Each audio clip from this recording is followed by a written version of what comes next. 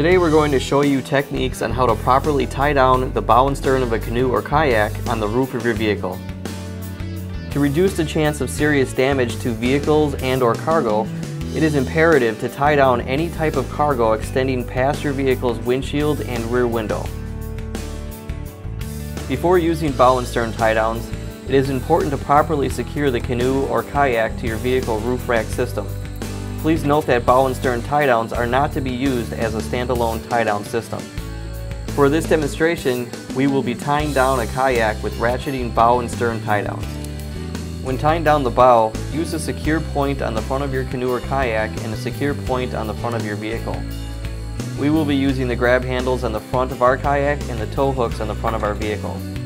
Please note that you should never attach tie downs to the plastic parts of your vehicle. Keep the tie downs loose yet snug. Over tightening can damage your vehicle and or kayak.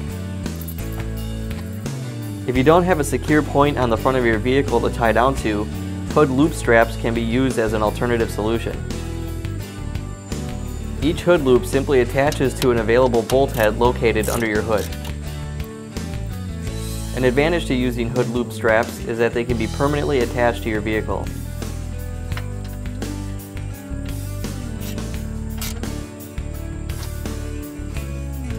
Once properly installed, close the hood with the loop strap exposed. Now you can use the hood loop strap as your secure bow tie down point.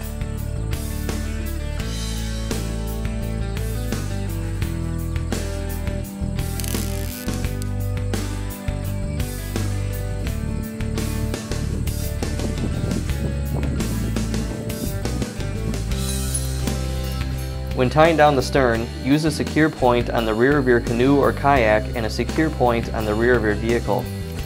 We will be using the grab handles on the rear of our kayak and the chain loops on the hitch of our vehicle. Keep the tie downs loose yet snug. Over tightening can damage your vehicle and or kayak. Once secure, tie up any extra slack. If you don't have a secure point on the rear of your vehicle to tie down to, quick loop straps can be used as an alternative solution. Simply pop the hatch or trunk and lay the rubber side of the quick loop strap inside. Close the hatch or trunk and the quick loop strap is installed. Now secure the stern tie-down strap, tie up any extra slack, and you're ready for the road.